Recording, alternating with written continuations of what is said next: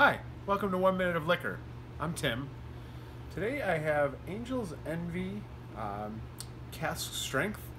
Angel's Envy bourbon is uh, always finished in port barrels, so it gives it a little bit of sweetness. And this one is um, bottled at cask strength. So usually when whiskey is aged, uh, it's aged at a very high proof, and then they cut it with distilled water when they're ready to uh, bottle it. This one they just dump right into the bottles. Um, pretty hot smell. Get a little bit of alcohol, but a little bit of that sweet port nose as well.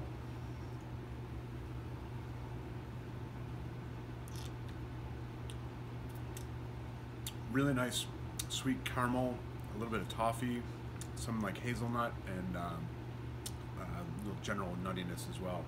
A really nice long, really long finish on that. Angel's Envy Cask Strength Bourbon in one minute of liquor. Cheers.